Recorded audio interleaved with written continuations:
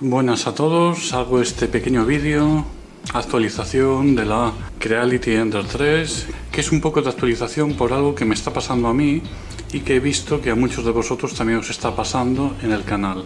Eso que os está pasando es que utilizando el extrusor de serie hay mucha gente que está oyendo como un clac y eso es debido a que el extrusor está patinando lo que es la polea dentada. Yo lo que he encontrado es que seguramente por culpa del uso de que estas piezas de plástico no hacen la fuerza que deberían y he visto que cuando hace ese clac clac si yo tiro un poquito hacia arriba de esta pieza, es decir, comprimiendo más el rodamiento con el filamento ya no patina el extrusor y ese problema desaparece. Me pasaba últimamente al imprimir que tenía muchos agujeros en las capas y era debido a eso. Bueno, pues hago esta actualización para enseñaros cómo lo he solucionado simplemente con una pieza impresa y un tornillo. Para aplicar esta solución vais a necesitar un tornillo de métrica 5x35 y esta pieza impresa a la que voy a atornillar este tornillo es decir, justo de esta manera. Importante es que el tornillo tiene que ser de este tipo, tornillo inox de cabeza Allen, porque el separador está pensado para esta medida. Vais a ver que el tornillo la cabeza nos va a ayudar a separar y hacer fuerza. Bien, ¿cómo lo ponemos? Pues mirad.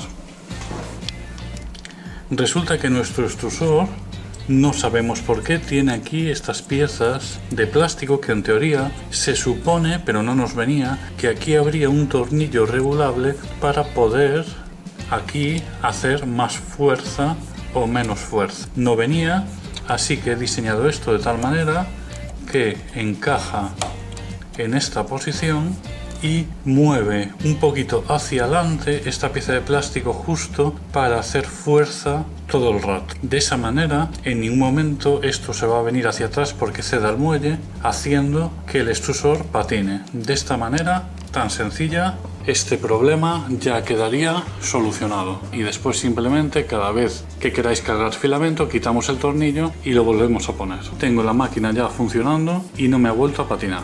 También en este vídeo aprovecho porque muchos me preguntáis de que el tensor yo le he metido un tornillo de métrica 4 si no recuerdo mal porque cambié, antes venía aquí dos rodamientos con un perfil más grueso para que no escape la correa y yo lo cambié por una polea lisa que ya me tiene la métrica del tornillo. Vosotros si queréis poner los rodamientos de serie, el agujero es de métrica 8 así que os pongo también en el mismo archivo este separador para meter en el agujero de 8 y poder meter un tornillo de métrica 4 para sujetar el tensor. Así que con esto ya nos queda todo solucionado en la Ender. Nada más, este vídeo ha sido así un poco express porque ya he visto varios usuarios con el mismo problema y así por lo menos tenemos una solución rápida y barata. Y sin más, me despido.